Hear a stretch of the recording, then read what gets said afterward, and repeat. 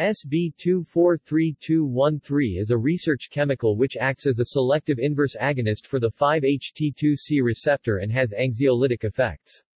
It has better than 100x selectivity for 5-HT2C over all other receptor subtypes tested, and a longer duration of action compared to older 5-HT2C antagonist ligands. See also CEPC minus 102,221 rupees. SB 242084